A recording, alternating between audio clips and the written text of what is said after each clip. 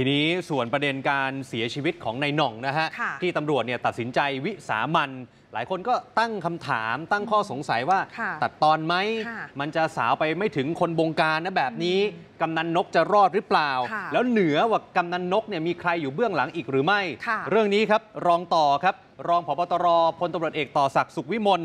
รองผู้บัญชาการตำรวจแห่งชาตินะครับเปิดเผยว่าได้รับรายงานในช่วงเช้าที่ผ่านมา ซึ่งทางผู้บัญชาการตำรวจแห่งชาติ สั่งการให้ตัวเองนั้นลงพื้นที่ตรวจสอบ ซึ่งการดำเนินการของตำรวจนั้นเป็นไปตามยุทธวิธี ยืนยันว่านี่ไม่ใช่การฆ่าตัดตอนนะฮะไม่ได้มีเจตนาจะแก้แค้น เพราะถ้าเกิดว่าจับกลุ่มได้เนี่ยก็สามารถสอบปากคำไปถึงคนบงการค่ะแต่ในหน่องเนี่ยต่อสู้ขัดขืนเจ้าหน้าที่ เมื่อวานเน้นย้ำเจ้าหน้าที่ไปแล้วครับ ให้ตำรวจทุกคนระมัดระวังตัว เพราะว่าคือหน่องเนี่ยถึงขนาดกล้ายิงตำรวจระดับสารวัตรคาโต๊ะอาหารเนี่ย แปลว่าหน่องนี่ไม่ธรรมดาแล้วค่ะท่านหน่องขัดขืนให้ลงมือทันทีเพื่อความปลอดภัยของตำรวจที่ปฏิบัติหน้าที่ครับผมว่าเขาเขารู้ตัวนะครับเออเขาเขาพกปืนอยู่ตลอดเวลาเมื่อวานเราก็บอกแล้วนะมันอันตรายแล้วก็เตือนพี่น้องข้าราชการตำรวจที่ที่ตามติดตามฝ่ายสืบสวนที่ติดตามคนร้ายว่าให้ระวัง เพราะเขาเขามีอาวุธปืน แล้วสามารถยิงในตำรวจระดับสารวัตรเนี่ยนะครับ กลางโต๊ะที่มีในในตำรวจอยู่เยอะๆมันก็ แสดงว่าจิตใจเขาเนี่ยสำหรับการสืบสวนเนี่ยนะคะที่จุดเกิดเหตุรวมถึงนายตำรวจที่อยู่ในที่เกิดเหตุ แล้วไม่มีการช่วยเหลือหรือจับกลุ่มคนร้ายเนี่ยนะคะ เรื่องนี้พลตำรวจเอกสุรเชษฐ์หักพานรองผู้บัญชาการตำรวจแห่งชาติจะเป็นผู้เข้ามาดูแล ซึ่งทั้งหมดอยู่ในขั้นตอนการตั้งคณะกรรมการสอบสวนข้อเท็จจริง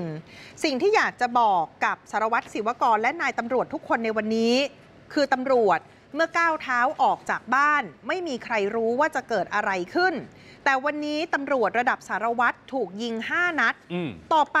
ชาวบ้านตาดำๆจะพึ่งใครได้ โอ้จริง เนี่ยท่านบอกเลยอืมเพราะฉะนั้นต้องทำเรื่องนี้ให้กระจ่าง สอบสวนให้ชัดเจนว่ามีใครอยู่เบื้องหลังครับอ่านี่คือในส่วนของการทำงานของตำรวจนะอืมฝั่งของผู้ตายที่เป็นมือยิงก็คือในหน่องท่าผาที่ถูกวิสามันฆาตกรรมไป อันนี้เป็นบรรยากาศตอนที่ภรรยาของในหน่อง เดินทางมาที่จุดเกิดเหตุอะนะคะ ได้แต่ร้องไห้แล้วก็บอกเพียงว่าหลังเกิดเหตุพยายามจะติดต่อในหน่องแล้ว แต่ว่าติดต่อไม่ได้ ยืนยันเจ้าตัวไม่ได้กลับบ้านพักที่อำเภอบ้านโป่ง ซึ่งตัวเธอเองเนี่ยมีลูกกับในหน่องด้วยหนึ่งคน แต่แยกกันอยู่ ก็ไม่รู้ข้อมูลอะไรมากนะคะ ยืนยันว่าตัวเองก็ไม่เคยเจอกำนันนกด้วยเหมือนกันค่ะ ตอนที่พี่ทราบเรื่องโทรติดไหมครับ ติด ผมไม่ติดเลยอืมแล้วตอนนี้คือเป็นพี่คนเดียวที่ต้องมาเดินเรื่องทั้งหมดใช่ไหมครับ คือเขาไม่มีญาติหรือว่า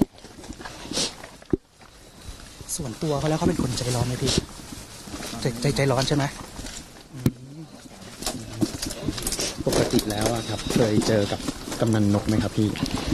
เจอ อะล่าสุดเจ้าหน้าที่ก็นำศพของหน่องท่าผาเนี่ยออกจากจุดเกิดเหตุแล้วนะคะ ก็เดี๋ยวจะไปครับประกอบพิธีที่วัดใกล้บ้านก็ขออนุญาตไม่บอกชื่อวัดนะนะอืมซึ่งทางครอบครัวเองเนี่ยก็บอกเหมือนกันว่าที่ผ่านมาเนี่ยคงพูดอะไรมากไม่ได้ แต่รู้ว่าตัวของหน่องท่าผาเนี่ยไปหากำนันอืมแทบทุกวัน ใช่ คือสนิทกันน่ะว่าค่ะง่ายๆนะฮะแล้วก็เราเห็นภาพ เยอะแยะมากมายครับค่ะในโซเชียลใช่ไหมฮะ ที่กำนันนกกับหน่องนี่ก็คือ